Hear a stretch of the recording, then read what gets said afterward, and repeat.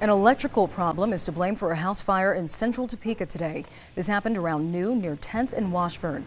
Firefighters on scene found smoke and flames coming from the back of the home. By the time crews got the fire under control, it caused about $2,000 in damage. No one was home at the time or injured from the fire.